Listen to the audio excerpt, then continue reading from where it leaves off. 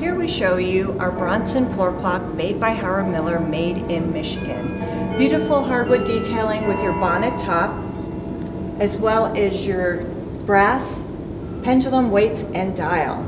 What's beautiful about this clock is when you look inside, it's got great burl detailing on the back. It is also a single chime which plays Westminster and also offers you a nighttime shut-off feature.